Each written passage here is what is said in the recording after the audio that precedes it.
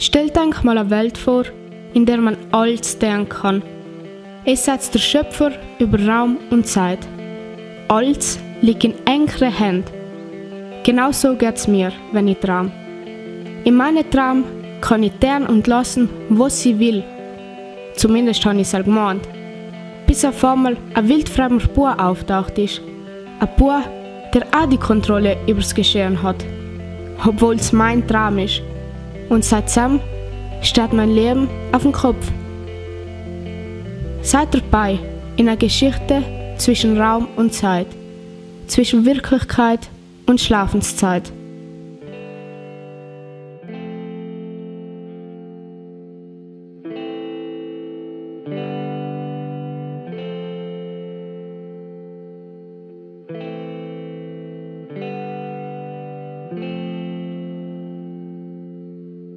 Schlafenszeit. Der Junge im Traum.